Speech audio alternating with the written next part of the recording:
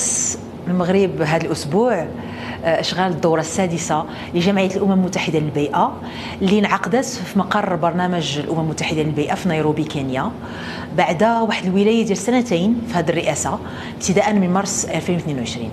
وهذه الدورة كتنعقد في واحد السياق العالمي اللي كيعرف مجموعة من الإكراهات كيف ما كتعرفوا توترات جيوسياسيه نزاعات حروب آه، انتخابات اللي كتنظم في مجموعة من الدول اللي عندكم 50% ديال سكان العالم اللي كينتخبوا اليوم القادة ديالهم في 2024 وطبعا بغينا أيضا الحاجة الماسة إلى استعادة الثقة في التعاون متعدد الأطراف في السياسة وفي العلم. وتوجات أعمال هذه الدورة بالمصادقة على مجموعة من القرارات الهامة كتساهم وغتساهم في تعزيز الحكامه البيئيه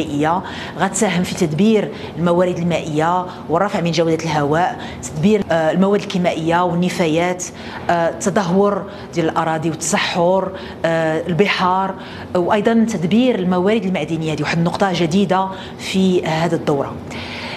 تم اعتماد أيضا بيان وزاري اللي كيهدف إلى اعاده الثقه في النظام المتعدد الأطراف واللي سيتم إرساله إلى الأمين العام لجمعية الأمم المتحدة كمساهمة في قمة المستقبل اللي غتنعقد في شهر شتنبر من هذه السنة في نيويورك.